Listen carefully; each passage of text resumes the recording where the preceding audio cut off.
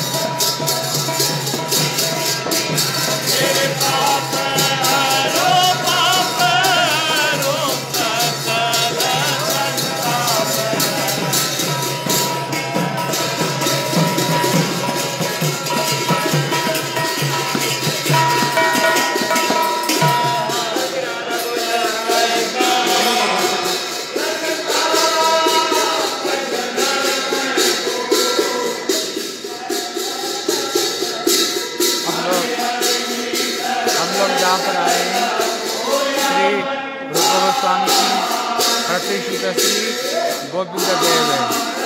इनका नाम गोविंद मतलब गो मतलब इंद्रिया।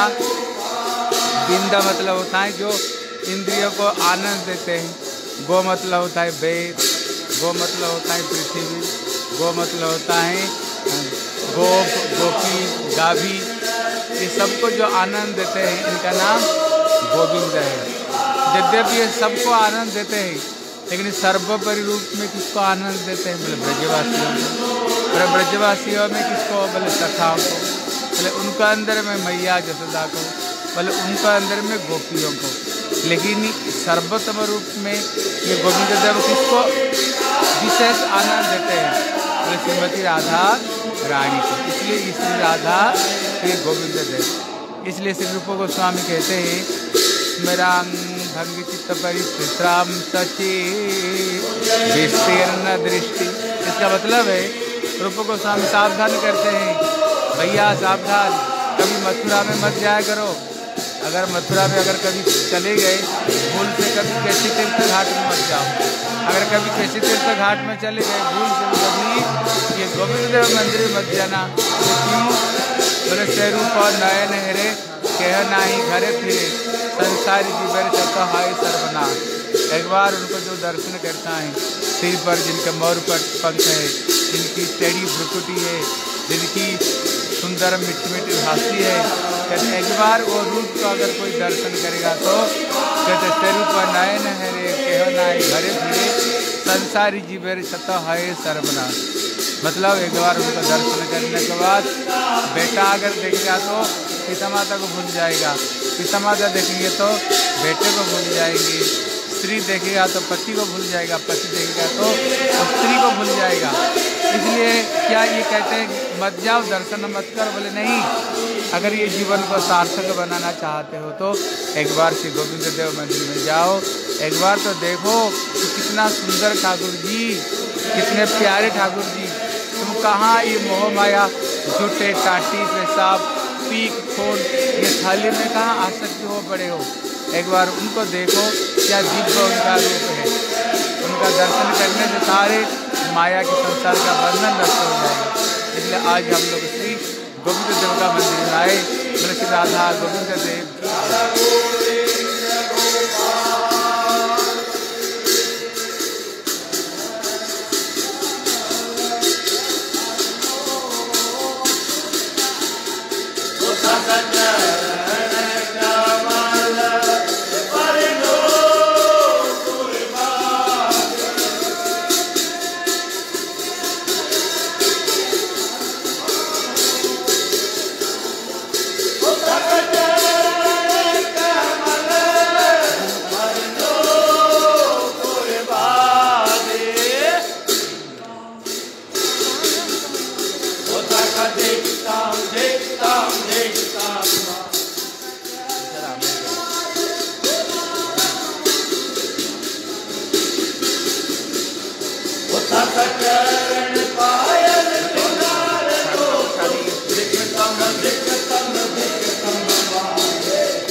가구리가 95% 그리고 가구리가 90%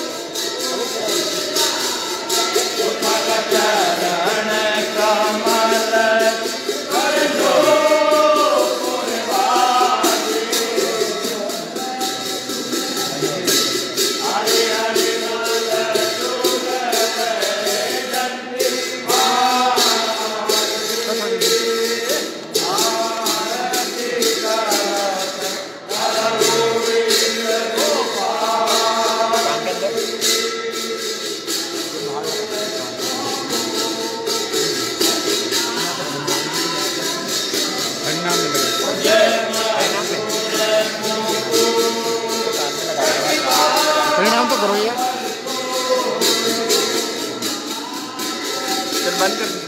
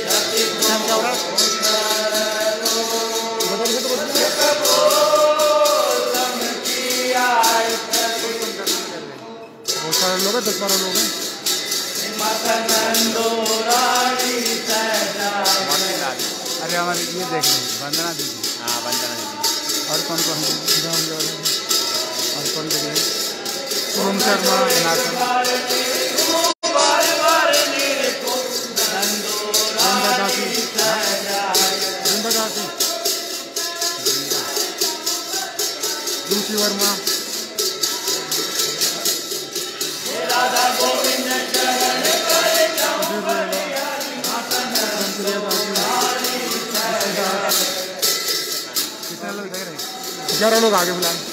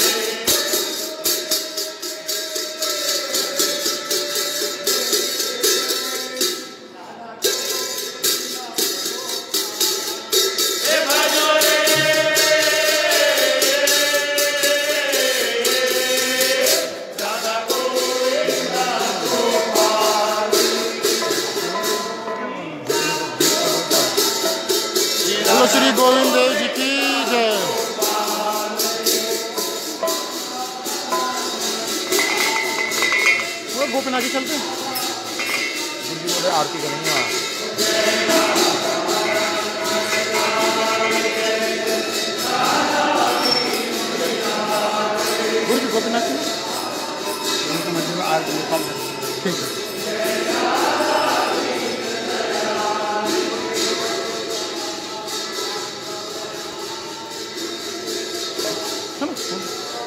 बोलो श्री गोविंद देव जी की।